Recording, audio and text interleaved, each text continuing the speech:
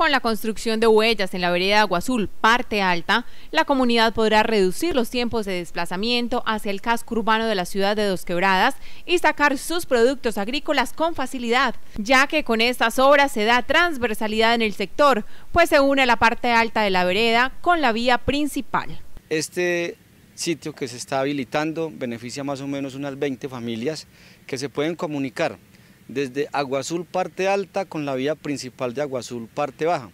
Esto hace que ellos puedan llegar de manera más rápida a nuestra ciudad de Dos Quebradas, que puedan sacar sin ninguna dificultad lo que producen. La obra se está haciendo por autogestión, donde ellos son conscientes que tienen que aportar y en este caso están aportando la obra de mano no calificada.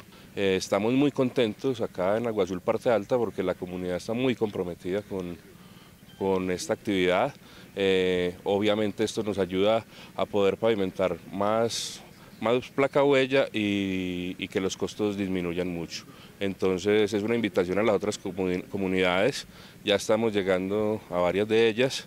Eh, y estamos comprometidos con el, con el tema de mejorar la transversalidad y la conectividad, porque este tema también es un tema de la zona rural. Del mismo modo, los habitantes de la comunidad que trabajan en la obra destacaron la intervención y la atención prestada por parte de la administración municipal. Muy bueno, es, un gran trabajo que está haciendo el alcalde en esta, en esta parte, gracias a Dios, y vamos a beneficiarnos gran, gran, la gran mayoría de las personas aquí para abajo.